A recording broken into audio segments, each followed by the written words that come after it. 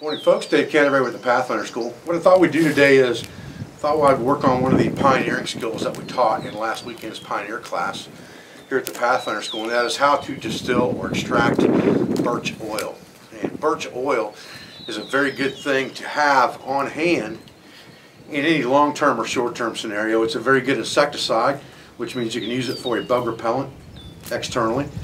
It's very good fungicidally, if that's even a but it's a very good fungicide. It's a very good astringent, and it is a very good antiseptic. So anything that's on the surface of your skin, it's good for. If you've got an abrasion or a cut, or you've got poison ivy, or you've got ringworm, or some type of a eczema problem on the external areas of your skin, you can use birch oil to take care of those things or to help medicinally for those things. You can also use birch oil internally but I will let you research that on your own. I don't claim to give you medical advice here on the Pathfinder channel, but there are lots of internal uses for birch oil as well. It's a very expensive oil to buy.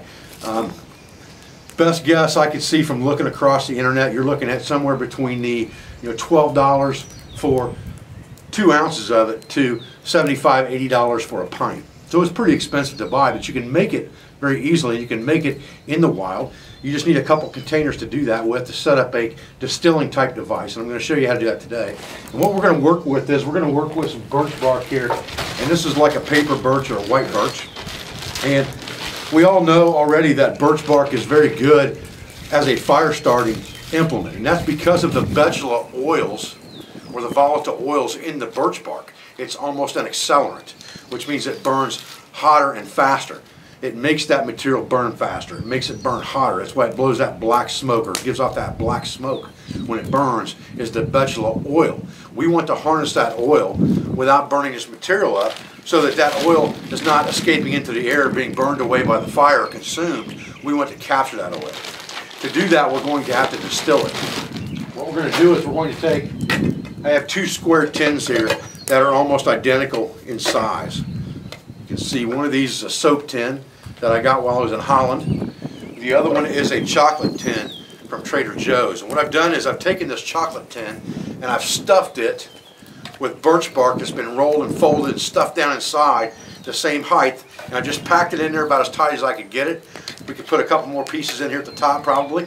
Then what we're going to do is we're going to take and we're going to punch a hole in this top of this tin almost like we were making a char tin. We're going to turn that upside down so the hole is at the bottom. Then we're going to take the lid off of our small tin and put this on top of it in a hole. And I'll show you how we're going to do that. We've got a fire going down here right now, prepping up some fire. And this is what we're going to catch our oil in. So the fire will be built around this tin, which will burn it and cause the oil to be distilled out, drip down to the bottom into this lid, and that hole will direct it into the bottom tin here, which will be our collection tin and then we'll try to pour that off into some type of a container for longevity. So stay with me and we'll walk through this a little at a time, guys. So the first thing we're doing is we're just getting ourselves a sustainable fire built so we've got something to work with. And then we're going to dig a hole off to the side of that and build our fire in a little bit of a different spot away from that to do our distilling. And I'll show you how we're going to make that in just a second. Okay, so I've dug another hole here right beside my fire. And that hole just needs to be deep enough that our tin will go inside of it. And we can go ahead and pack that around a little bit. We don't want to get any dirt in our tin. So we'll be careful about that.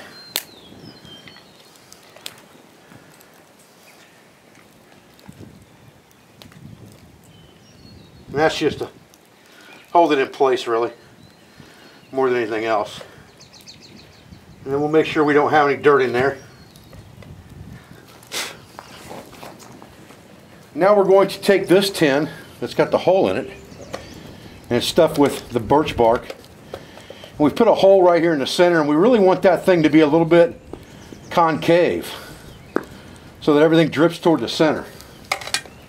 We're going to put that right on top of this and then we're going to kind of bury that in a little bit like this. Just to kind of seal that up. Just like this, about a ground level. And then we're going to build our fire. We're going to bring our fire materials out here. And build our fire back up around our tin. And I'm going to build a good fire up around this tin and just let it continue to burn probably until it burns out for the most part.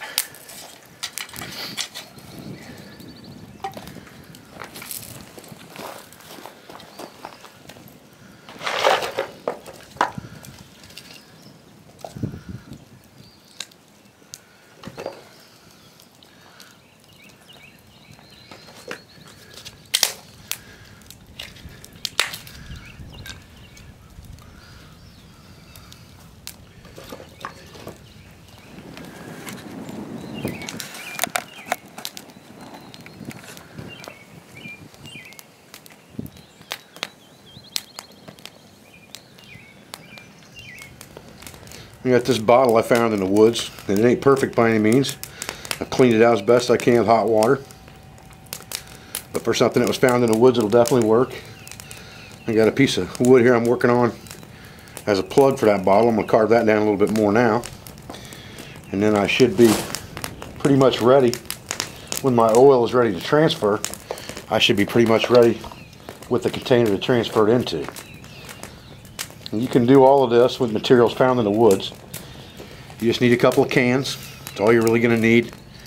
Very much like you would use if you were making char cloth.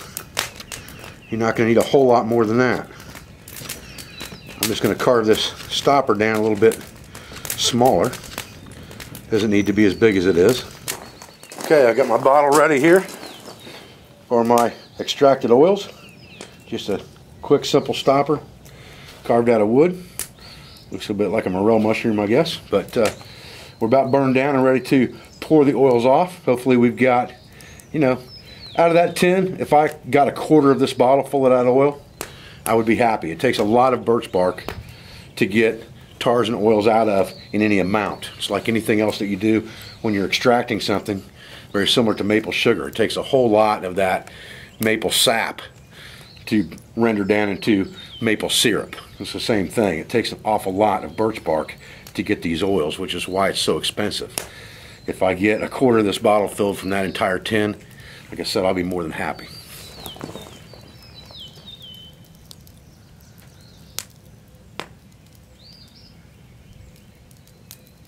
Okay, now that our fire is burnt down pretty well, we can kind of take and scrape everything away from our container and back into our fire leg, our fire pit over here. And we want to get down to where that container, to the base of that container basically, so that we don't get, again, any dirt in our oil. I'm just taking a stick here and scraping everything away from the base of this container. Taking my time here to get everything out. I've got to get everything out of the front too. I've got some on the front side I need to get out of here. Scrape it around to the side and get rid of it.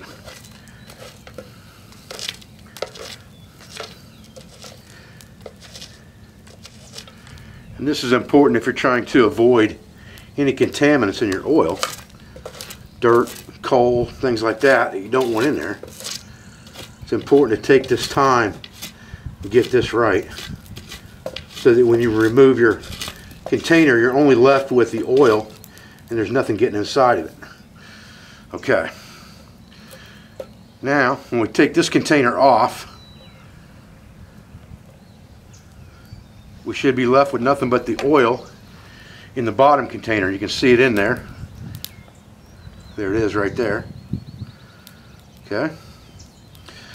Now we'll let this container cool because if we didn't burn everything up and this hasn't become charred material and there's nothing left in there really but creosote, then we didn't burn it long enough and we could cook it longer and extract more oil out of it. Or we could reload the tin once it cools down with fresh bark and go at it again as long as we keep our fire pit burning. So now what we need to do is we need to get this container out of here and it won't be too hot because the fire was on top of it and it's in the ground. So a pair of multi-tool pliers or something like that would come in real handy for pulling that container out of the ground and using that to drain into our device we're going to store our oil in. All right, I've got my bottle here with my cork and I'm just going to reach down in here with a pair of pliers like I said and ease that tin out and pour that oil into this bottle.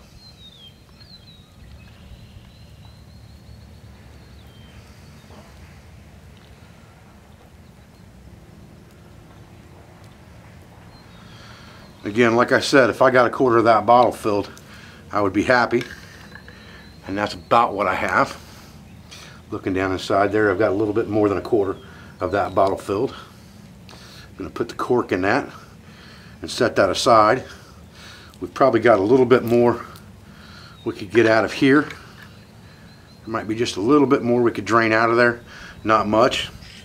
We'll wait till our container cools down that we're using to distill with and we'll look at that as well.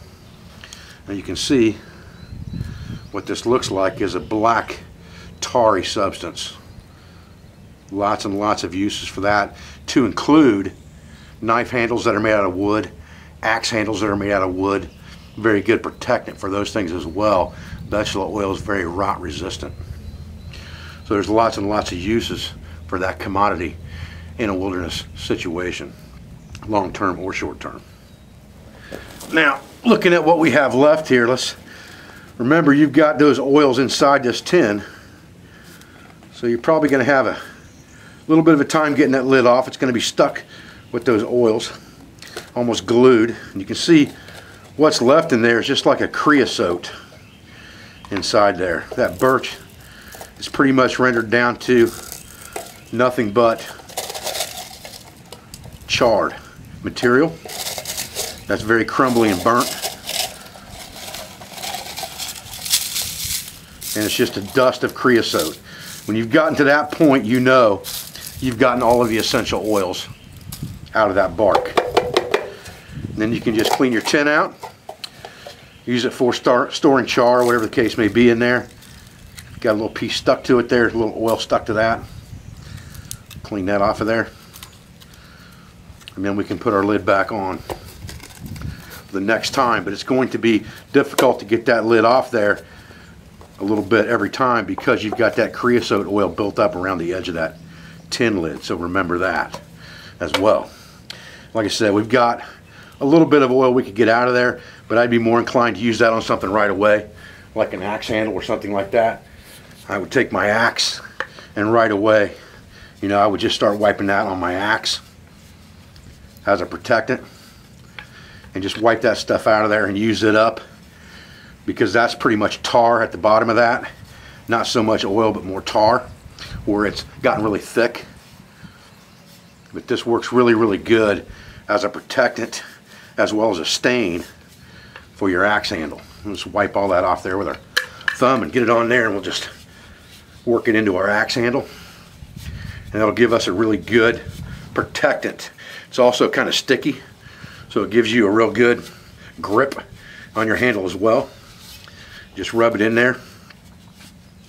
You can see what that looks like on my axe handle. All right, folks. Well, I'm Dave Canterbury with the Pathfinder School. I appreciate you joining me out here today for this video on how to extract birch oil from birch bark. Again, you know, really good protectant for any of your wooden handled objects as well as being good medicinally and insecticidal. So it's very good for keeping the bugs off you as well. Now it's going to stain your skin a little bit. It's going to stain it brown like that. And it's going to stay that color. I fair warn you, it's going to stay that way for a while. So again, it's also a good stain if you're trying to stain some type of tool handle or something, as well as protect it at the same time. You can rub that oil in there and do that. Keeping a small bottle of this stuff in your kit is always going to be good for a lot of things. I was supposed to leave for Missouri this afternoon for a Flintlock hog hunt for Hunt Channel TV. The weather has kind of given us a fit. Looks like we're talking about solid thunderstorms and rain over the next four or five days. So my co-producer, co-owner of 3Cs LLC, also talking about postponing that hunt, possibly putting it off for a few weeks. If that happens, I'll be around and I will try to get some more videos loaded up to this channel this week if that happens, rain or shine. I also put a video up this morning on Pathfinder TV and set it to free, so you can go watch it for free right now on Pathfinder TV at our Pathfinder TV YouTube channel on working through the variables to make a bow drill fire in the rain, basically a rain shower off and on throughout the day. And we work through the variables to make a bow drill fire in that rain. I appreciate your views. I appreciate your support. I thank you for everything you do for our school, for our family, for our business, for everyone affiliated with the Pathfinder School and Self-Reliance Outfitters. And I'll be back with another video as soon as I can. Thanks, guys.